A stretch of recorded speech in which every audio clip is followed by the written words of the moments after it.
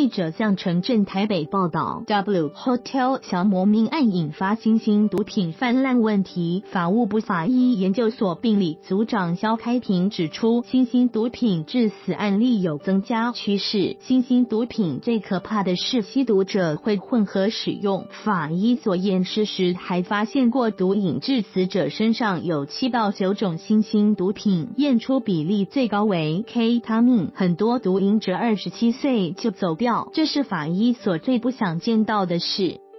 法务部法医所下武汉媒体在法务部查叙，法医所毒物化学组长林栋梁指出，根据联合国毒品与犯罪办公室的通报资料，新兴毒品种类已上升到七百九十种。目前台湾新兴毒品滥用多以毒咖啡包、毒奶茶包形式流窜，标榜毒品内容为三合一或混搭的完美比例，常见组合多含 K 他命。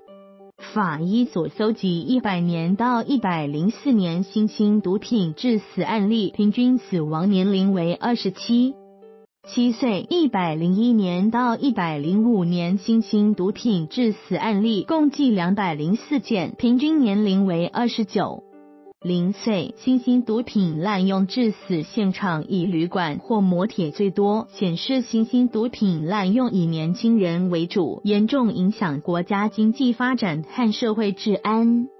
法务部法医所长涂达人指出，法医所下个月将汉国立自然科学博物馆和办古今法医传奇与反毒犯罪体验特展，接着再巡回全国中小学和矫正学校展出，让国人和青少年了解毒品危害。